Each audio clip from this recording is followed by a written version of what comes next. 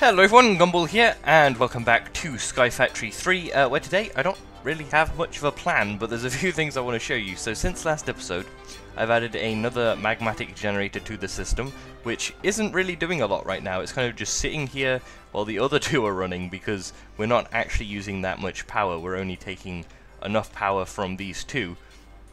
And the lava is still able to keep up, well, the fact that this isn't running means that that's not too tricky, and I've just been moving the system through uh, to make a whole load uh, more sand in the hopes that I get one more redstone. Uh, also, I have automated storage of ore pieces slash chunks from an automatic sieve. Uh, we have all our ore pieces going into here. I just grabbed uh, one of the three remaining transfer nodes from last episode, hooked it up to a chest, and everything's going in here. Which means we can probably take all the stuff from up here um, and stick it down there since it might as well all be in one place. And there's a few things that are still up here. I'll work on fixing it all up later.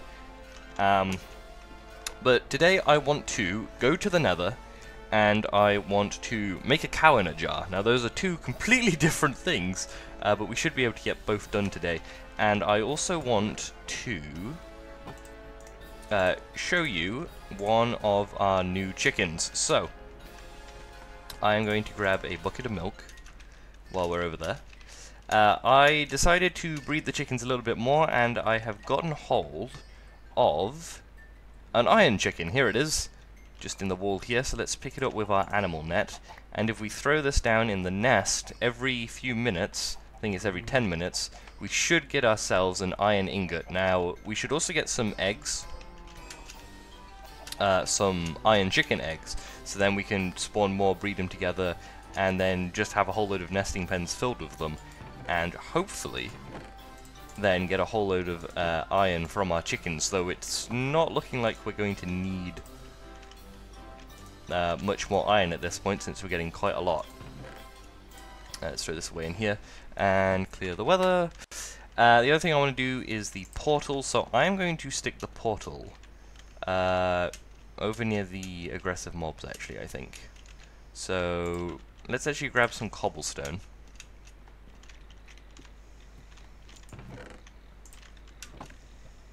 And build it out around here.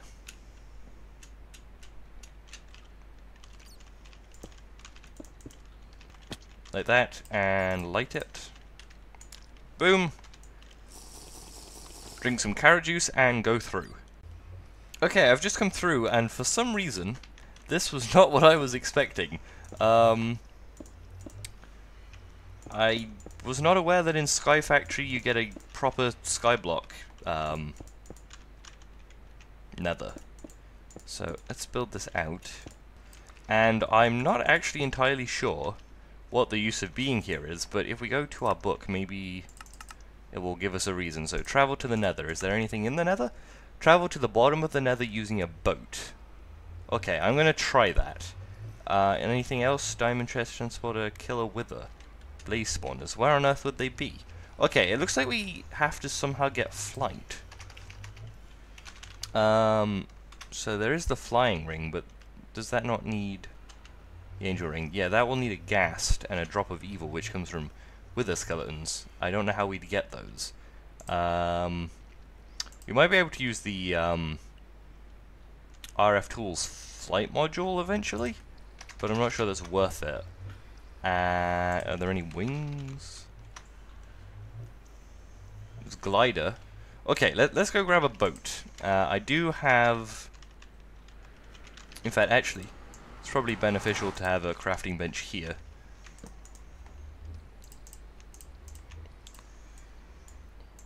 Boom, boat. Okay, so I do have uh, keep inventory on, I believe. So, we are going to the bottom of the nether in a boat. Okay. I don't think that's what's meant to happen. Um, what would be the point? I mean, I did travel to the bottom of the nether using a boat. But I, I don't think that's how it's meant to go. Okay, now all that appears to have done is create a death waypoint. Um, I was kind of expecting to gain something from that. Uh, but no. Okay then. That is very weird. Okay, so it just seems to be a kind of silly achievement based around the fact that when your grave is down at the bottom, you can land on it. Uh, I'm not sure how to go about doing these um, other two achievements, the Blaze Spawners and Wither. The only thing I could think of is maybe flying through the nether. Once you go so many blocks, I think you do eventually reach the nether, um, but I'm not entirely sure. Uh, also, what's the beneath dimension? The beneath? Is there beneath? Beneath teleporter, that'll take quadruple compressed cobblestone and unstable ender pearls, which ender pearls and wither dust, which come from wither skeleton skulls. Okay. Okay then. And that'll take us to the beneath, so that's something we can't really do yet. Um, but I want to make uh, our cow in a jar. So to do that, we are going to need a jar, which is why I was going to get a bucket of milk. I don't know why I never got one in the end. Uh, let's go grab that. Lucky we have three cows, so we won't be losing any of them.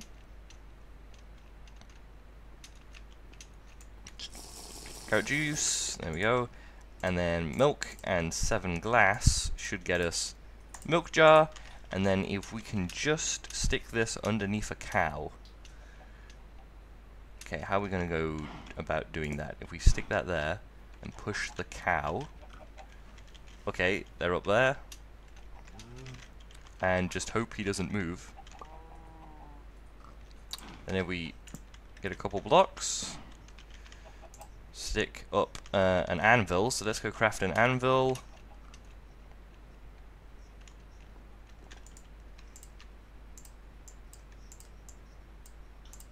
There we go.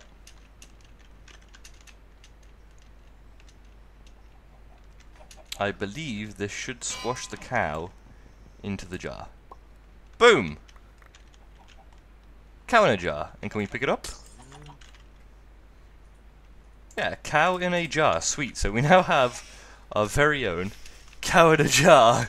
Uh, and that will produce milk over time for us. Uh, it just sits there. It currently has 20, 30, 40 milk, 50 milk, and every time it has a thousand milk, we can bucket it up uh, instead of going over to the cows. I don't get the point in that because you get milk constantly from the cows as far as I'm aware. Okay, let me uh, just stop this system throwing some cobblestone. And this always has a reserve of a stack left over, so we're not using up all of the um, stuff evidently. Somehow we haven't got a single redstone from all that. There was over... Oh yeah, it's not dust. Okay, uh, let's make sure to turn it into dust this time round. Okay, so we can also throw our anvil down there. Uh, cow in a jar is almost halfway to a bucket of milk. Let's throw iron ore in there. We can get a block. So, we've been to the nether. We've created a cow in a jar, so let's go take that one off. Captured a cow in a jar. Uh, killing mobs automatically we'll probably do later. Uh, once we've managed to figure out the withers in the nether. A diamond seed would be handy. How many diamonds do we have at the minute? Four. Okay, so we do have enough diamonds for a diamond seed. I just need to make a whole bunch of supremium as far as I'm aware. Yeah, we're one Intermedium off of a tier 3. And there's... This is a tier 5. Okay, so diamond seeds will take a while. Um, what can we do with crops at the minute? So, uh, craft a soulium dagger to obtain a mob chunk. That's for the mob-specific plants. Uh, use growth accelerators or crystals to speed up crop growth. So let's look up growth. We have growth accelerators, growth uh, grows resource crops above it. That's a diamond, inferium blocks, and stone, which means a whole bunch more inferium. And growth crystal? Was it? Growth crystals. Mm, oh, these. Okay from Tiny Progressions. These take 4 iron, a uh, bunch of prismarine, and a bunch of compressed bone. And what exactly do they do? Can be placed as a water source. Oops. and growth crystal, it can also be used as just a growth crystal under blocks. Okay, so if you place it under dirt, it probably speeds up growth. I'm not entirely sure. Um, one thing I do know is that we want to expand this farm. So, we do have a bunch of bones, and we can also shift a ton. So, I'm going to bucket up this.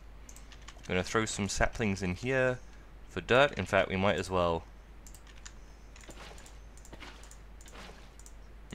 make a few bits of dirt.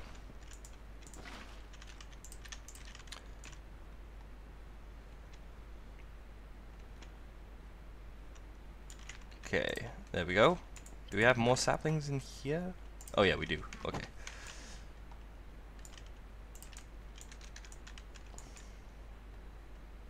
Okay, and we'll leave that going. Let's throw these in here. So I am going to make a whole bunch of dirt. I'm going to grow trees, uh, shear off the leaves, and get a bunch of dirt. And then uh, we'll have a much bigger field for our crop essences, for our Inferium. So I'll grow a whole bunch more of that, and we'll see what to do. We might not have much more left to do this episode, actually. Okay, so it looks like the iron chicken actually does drop iron ingots. Um, I think I got some, I'm not entirely sure. Let's uh, clean out some of this stuff here. I don't need logs, or cocoa beans, or all this flint because I'll get a whole bunch more. That's enough, I guess. I think I can pick up everything now. Yep. So this um, iron chicken uh, has got us two iron chicken eggs. I'm going to grow the stronger one in the hatchery nest. And I am going to need a whole bunch more nesting pens. Now, I think stronger chickens probably are more likely to give and probably also give more of the resources that they uh, can provide. For example, the um, iron chicken will probably give more iron if it's a stronger iron chicken. That just makes sense. Um, but we will see. At the moment they're 323, the new egg. The original one's probably 111 because it was just born from other chickens, but the stats might depend upon the parents. I don't know. So I've just been expanding this platform over here, uh, growing a whole bunch of trees, trying to see if I can get this platform expanded. It takes quite a while to get dirt this way, so I actually want to see, uh, aside from a dirt chicken, how else can we get dirt? Is it only from composting? Now I know there's a staff you can get in Botania that makes dirt, and apparently there's a dirt crop, which comes from tier 1 crafting seeds, inferium, and dirt, but I don't think that's really worth it. It does get you 24 dirt, that is so worth it. Um, yeah. Yeah, that's that is actually really worth it. Okay. Um Okay, let's let's make that dirt crop. So we'll grab a couple more prosperity shards.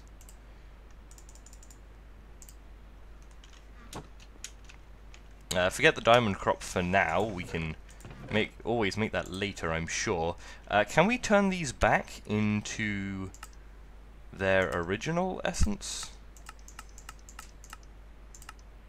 Yes, one of them into four. Okay, let's do that. It does, unfortunately, kind of waste the uses of the infusion crystal.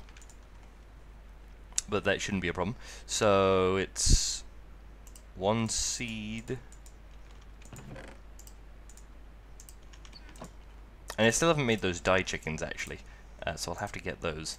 Uh, one level one seed for essence and for dirt. Boom, dirt seeds. We'll plant this down right here. And then I'll use my watering can and grow that. And once we have eight, we should have a whole bunch of dirt. Oh, and also we'll get some iron essence and some inferium essence too, so that's handy. Okay, so I've just been harvesting dirt essence, so I've managed to get six, and 20 inferium essence apparently. I don't know if some of that I already had. But the, uh, I managed to get this fertilized essence, which apparently has a 1% drop chance. I don't know, is it used for anything? Mystical fertilizer instantly grows a resource crop. Um, and fertilized essence is bone meal that works on resource crops. But there's no way to grow it at all? No. Okay, let's look up mystical agriculture.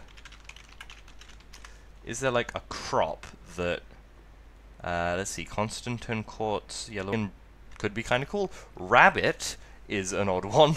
Uh, Skeleton Slime Sheep doesn't look like you're meant to really get it that much. Okay, well, let's see.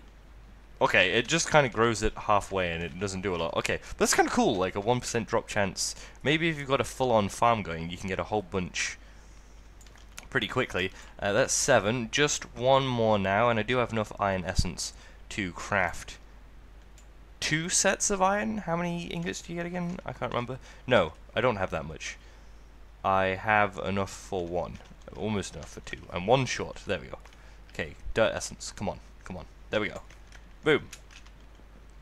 We should have enough here for the six iron, though. Yep, we do. And if we now grab the dirt essence, go around, 24 dirt, much faster than if I was to chop trees all day. And we can fill this in.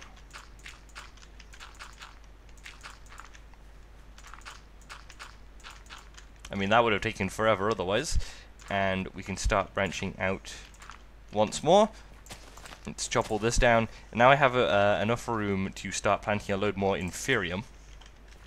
In fact, what does it take to craft Inferium seeds again? Can't quite remember. Inferium seeds. Su Supreme Inferium seeds. Will those grow into Supremium? Okay, let, us see this. Can we make Prudentium? Let, us see if we can grow Prudentium. Um, there's our Inferium. So to make these seeds, just 8 Prudentium, okay. So that makes two, three, four, five, six, seven, eight. There we go. Uh, that's 9, whoops, okay. Uh, put those around what type of seed? Inferior Inferium seeds. Okay, let's make those first. Uh, in fact, you might as well just break one of these for now. Because if this does grow into Prudentium, you can undo it back into Inferium if we ever need it. So Prudent Inferium seeds, you can throw that down there. I'm going to grow this, and I'll be back when it is fully grown, and we'll see if we can then work on uh, reaching all the way up to Supremium seeds, so then we can actually get diamond crops far faster than farming Inferium, which is ridiculous. Okay, so it has fully grown, and did we just get two Inferium? Okay, so you don't actually get Prudentium, you get half of a Prudentium, um, I think. So, it's much better to have the Prudentium one still, because rather than getting half, you're getting a quarter, usually. So this is almost fully grown. Let's make sure I get this right. So there's one, and from the Inferium one, the Tier 2 one, we get... Come on. Okay, let's, let's keep an eye here. We have 46. 48, okay, so it does look like we get two. So, if we use all the essence we currently have along with all the seeds we can get,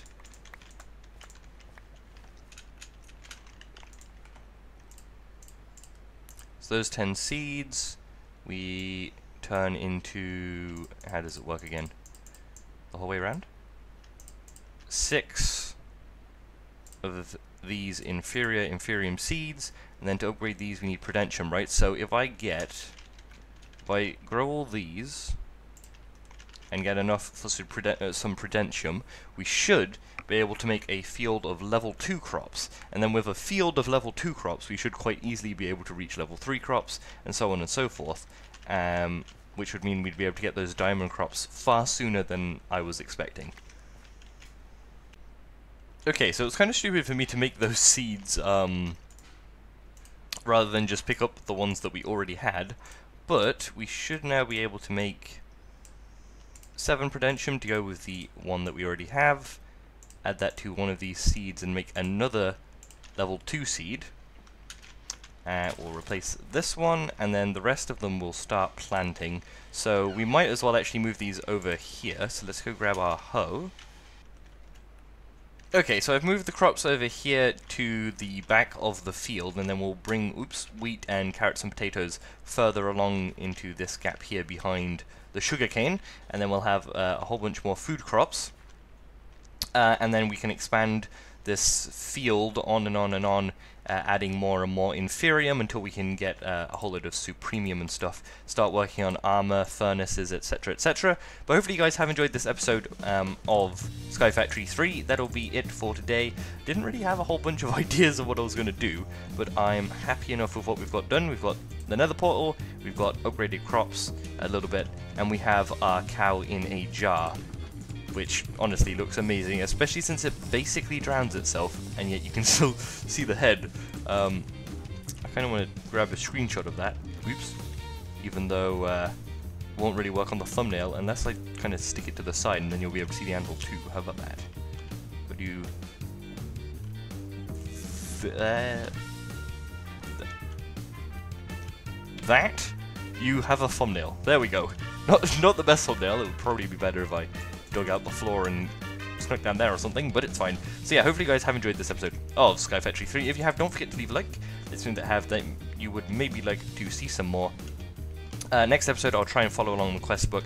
Maybe I will look up online how exactly the nether works in this, and then we can uh, get the withers and blazes, and uh, get some blaze powder, get some wither skulls, work towards nether stars and stuff like that, get an upgraded watering can, uh, get flight, etc., etc., and get into the more mid-game stuff now that we have all the basics out the way. So yeah, hopefully you've enjoyed, and I'll see you all again next time for some more Sky Factory 3. Bye bye!